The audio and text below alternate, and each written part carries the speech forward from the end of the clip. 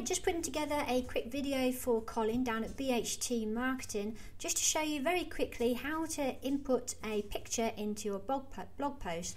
We've put a, um, some banner ads that go at the bottom of your blog post which is all to do with calls to action. So you want people to have a call to action at the end of your article. So this is how you do it. Um, you go into your article, so we're just about to edit a post and we're going to add a nice picture at the bottom here. We're going to click on upload on insert so you click on there. Um, normally I would just click here, select the file, but because we've already done this once, it's actually your picture's already been here and it's in the media library. So we're just going to click on the media library and we're going to click call handling by BHT. So we're going to click show here.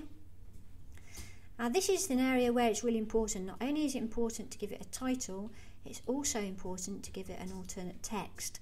Um, it's actually going to be the same, but this is the bit that Google picks up on. So if you just leave that blank, then uh, that's a bit of a no-no. You can give a little caption underneath, so please call by clicking the link. And we're also going to um, give a link URL here. So what we're going to do is going to take that out and we want people that are clicking on this image to be directed to this page, telephone call handling and virtual office services. That's where we want people to go. So we're going to click the URL there. So when people click on there, we want it posted in there, which is fantastic.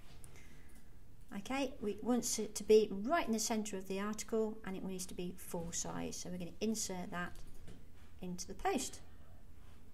Ta-da! Okay, we're going to come down here and we're going to click update.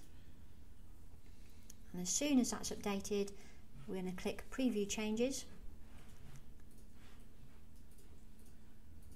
which is just down here so preview changes um, this is the article that we've just done and hopefully if we've worked our magic we should have a nice article just there and if you click on there it goes with alt oh, tag so if we're hovering over it you now get a pop-up and this is the bit that Google reads and if you click on there it will go to the telephone call handling section of your website. Hope that helps. If you've got any questions, you know where I am. Just give me a call. Thanks very much. Bye bye.